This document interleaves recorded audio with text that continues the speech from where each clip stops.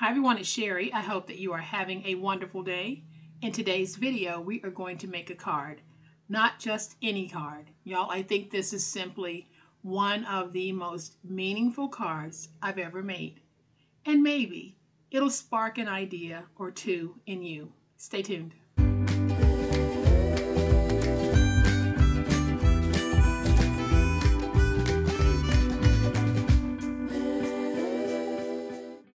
Welcome to my channel. I am so glad that you decided to stop by and welcome to all of my new friends and to all of my new subscribers. Welcome back to all of my longtime friends and longtime subscribers. Thank you all so much for being there for me and thank you so much for supporting me and my channel. I truly appreciate it. In today's video, I'm going to share with you a very personal card that I'm making for someone who means the absolute world to me. I absolutely love this person. I adore this person. And I am in awe of her as a woman. So I made a card that'll be very meaningful to her, but you can take this concept and use it for so many different people in your lives. And I think you're going to enjoy the concept that I'm about to share. And y'all, who is this phenomenal person that I'm talking about? Well, it's my oldest daughter, Megan. I feel the same way about my youngest daughter. They mean the absolute world to me. But in this case, this card is geared towards a certain aspect of Megan's life that does not exist in my youngest daughter's life. But y'all make no mistake, even before my daughters were ever born, I love them. And they have taught me so much as young women, and they've helped me to grow as a woman. What I'm making today really is exclusive to my oldest daughter, Megan, because of a very different aspect of her life from my youngest daughter, Erin. So I'm going to flip to my overhead camera to give you a closer look at what I'm talking about, and you'll see why this card is so meaningful to me. All right, I'm zooming in to give you a better look at this card. This is a card that I'm sending my oldest daughter, Megan. She is the mother of my two grandchildren, Kathleen and Charles.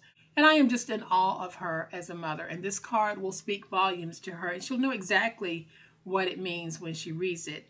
But what I have here is it says, A mother understands what a child does not say. And this is a Jewish proverb.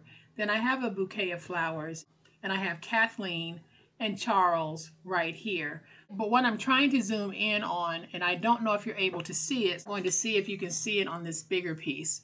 What I did is sprinkled throughout the flower bouquet what looks like foliage and curlicues are the names of my grandchildren. So I sprinkled those throughout. But here's the beautiful thing about this card. The flowers in the card represent their birth months.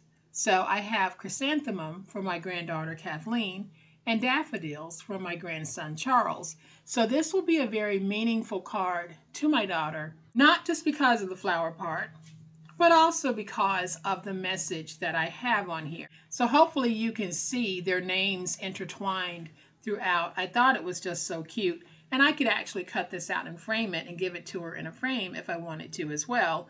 But I wanted to make sure that I made her a very special card for Mother's Day because I do think that she is a phenomenal mother. When I watch her, I think she's actually the mother that I wish that I had been.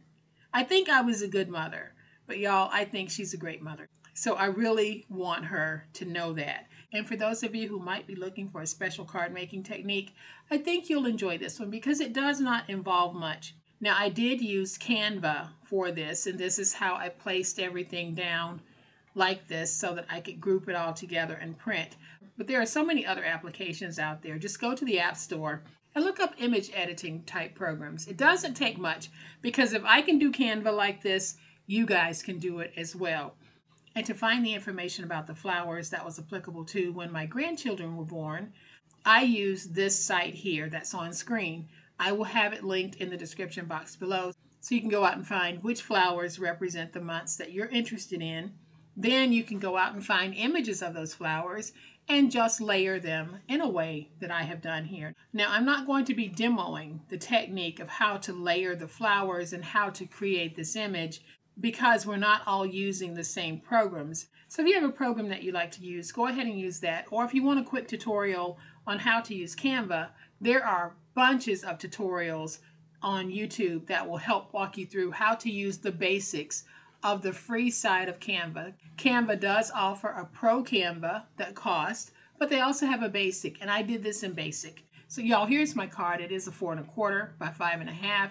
Very meaningful on the outside. I kept the inside blank because this is where I truly am going to write a nice little message. And here is what I am going to be using to make my card. So I have a piece of foil and it's gold. And I'm going to use that just as I've used it here. And I have printed images that I'll be using. I have a piece of 11 and 3 quarter by 11 and 3 quarter inch lightweight um, paper that we're going to be using to make the envelope. And then I have a piece of 12 by 12 that I will cut down so that we can make the card. So let's just go ahead and cut this down to five and a half. You can make two cards from one 12 by 12 inch piece eight and a half.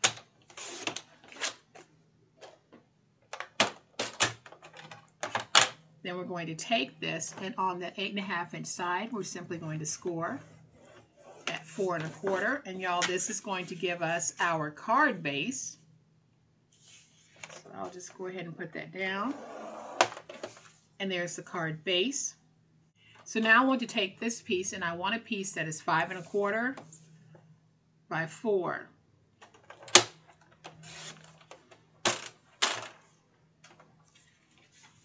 And this is what we'll place on here. Then I'm going to take these pieces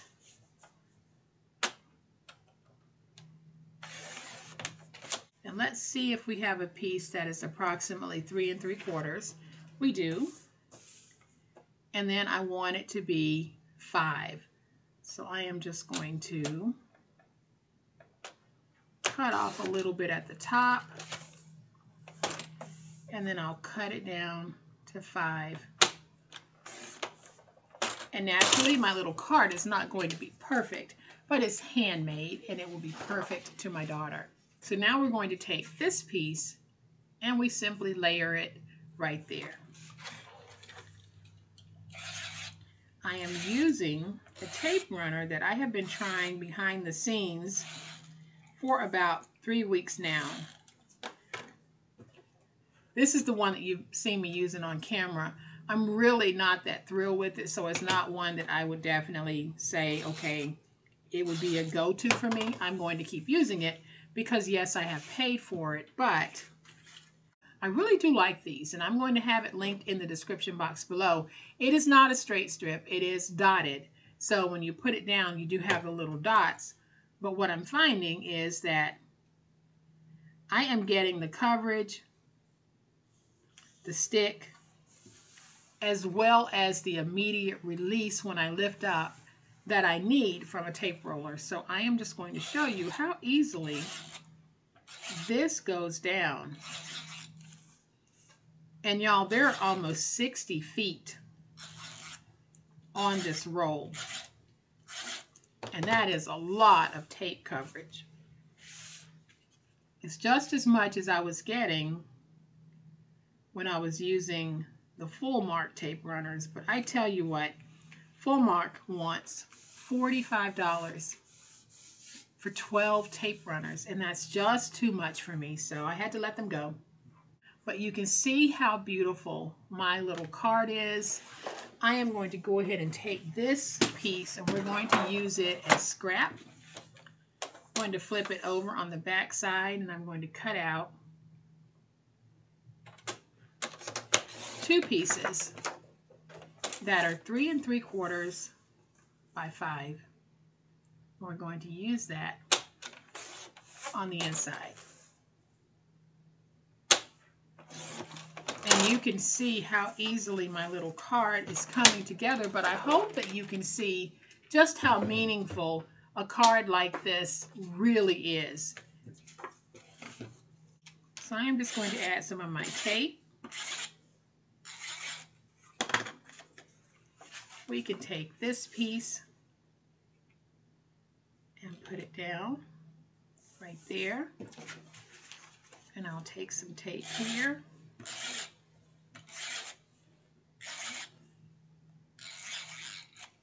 And if you're interested in these tape rollers, they are going to be linked below and they will be in my Amazon storefront. I do encourage you to go out, do your homework on the tape runners by reading the reviews of others, as well as reading the information from the manufacturer to make sure that this is going to meet your paper crafting needs.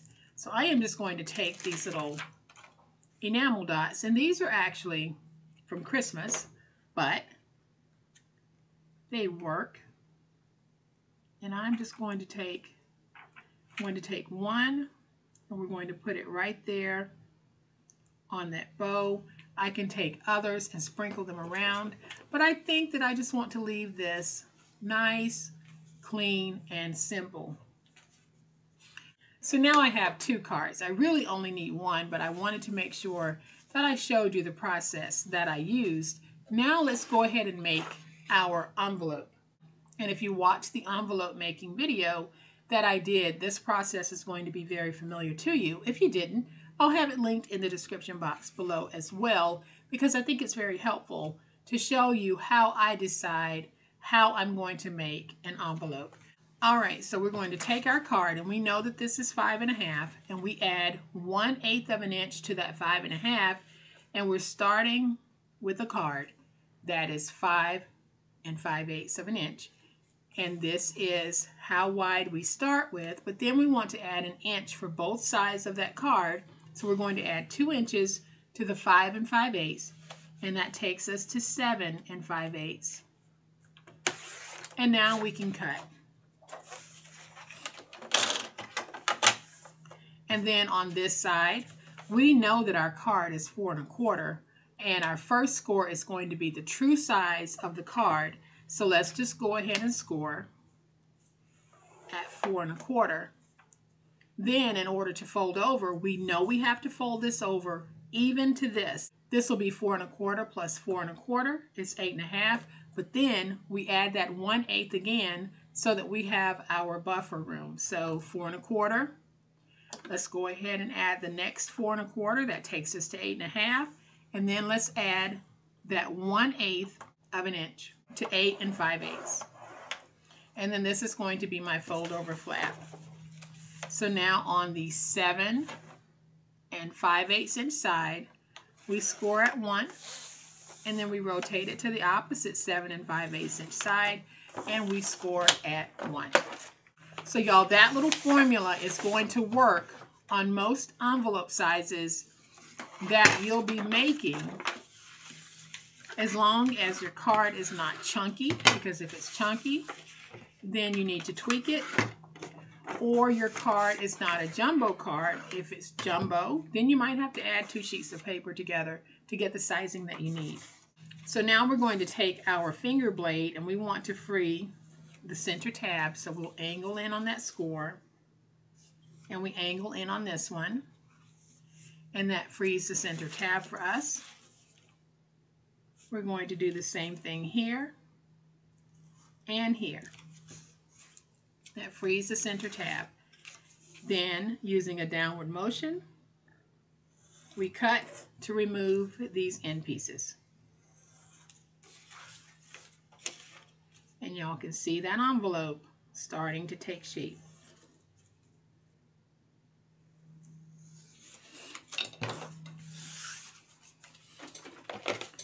Now the widest part here, this is the bottom of the envelope. Smaller part is your fold over flap. So I am just going to take my scissors and I like to round with my scissors this is not something you have to do. This is just one of those little things that I like to do. If you have a corner rounder, you can use that for this part as well. And to answer a question that one of you had for me, when you see me tossing things off to the side here, I'm not throwing them on the floor. I have a box attached right here. It holds all of my discards. So now I'm just going to take my glue. We'll add some glue there, some glue there, and then a little bit of glue along the edge here.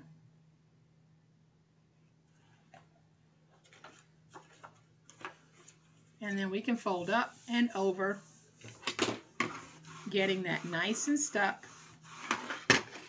Now I can take my card and we should be able to put this card in our envelope like this. It goes in and I can fold over and then I can address the front.